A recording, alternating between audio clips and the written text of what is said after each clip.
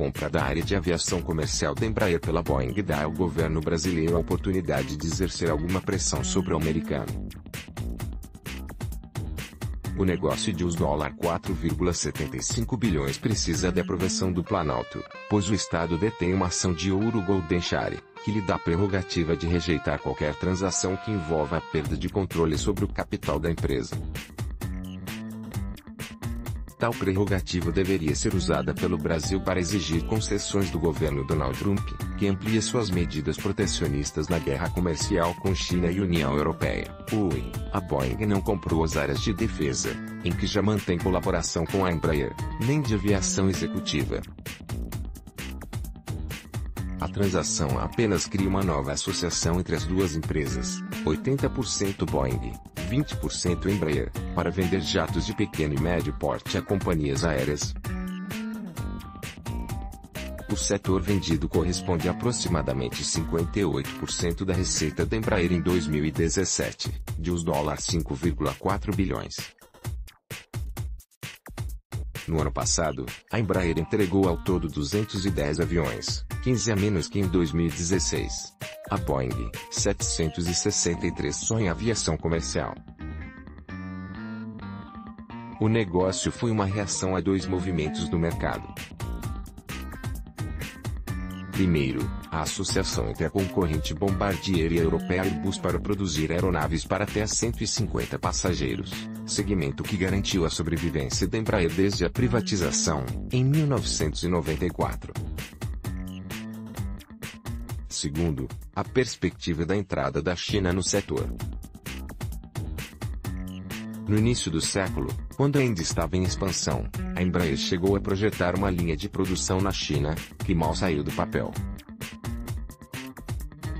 Envolvidos na iniciativa acusam os chineses de ter se apropriado da propriedade intelectual da Embraer para produzir os próprios aviões. Resultado da competência da engenharia aeronáutica brasileira e da estratégia de negócios adotada depois da privatização, a Embraer não tinha mais a opção de crescer ou sobreviver sozinha diante da realidade atual do mercado. O negócio também é fundamental para a própria área de aviação comercial da Boeing, cujo faturamento tem caído, de dólar 96 bilhões para dólar 93 bilhões nos últimos três anos é o que o transforma em oportunidade para obter concessões de Trump. Quando Trump impôs as tarifas ao aço e alumínio, insumos da produção de aviões, o Brasil negociou cotas para limitar suas exportações aos americanos e isentá-las da alta no preço. A medida serviu para aplacar um pouco os ânimos da indústria siderúrgica brasileira, mas é evidente que representa um baque. De acordo com a proposta americana, as exportações de aço semi-acabado brasileiro cairão 7,4% neste ano em relação a 2017. As de aço acabado, até 60%. Não ficará por aí. Carros e autopeças do mundo todo também estarão em breve sujeitos a tarifas. Sabe-se lá que restrição o Departamento de Comércio ainda poderá criar. O governo brasileiro tem em mãos a aprovação de um negócio relativamente pequeno para os padrões americanos, em torno de dólares 5 bilhões. O valor de mercado da Embraer fechou ontem pouco abaixo de dólares 17 bilhões.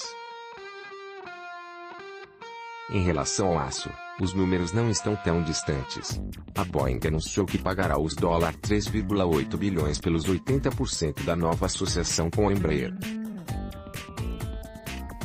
As exportações de aço brasileiro aos Estados Unidos somaram em 2017 pouco mais de dólar 2,6 bilhões. Em volume, cresceram dois terços desde 2011, tornando o Brasil o segundo maior exportador de aço para os americanos. Negócio também interessa todas as regiões produtoras da Boeing nos Estados Unidos. A principal é Seattle, em Washington, estado da costa leste que vota tradicionalmente no Partido Democrata.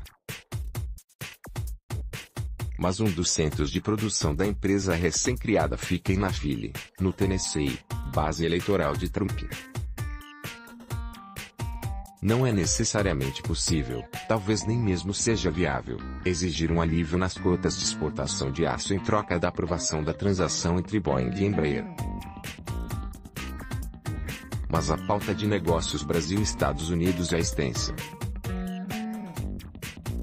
O governo brasileiro tem uma rara oportunidade de fazer valer nossos interesses também em áreas que vão de produtos agrícolas à propriedade intelectual. Se não pedir nada como compensação, terá desperdiçado uma excelente oportunidade.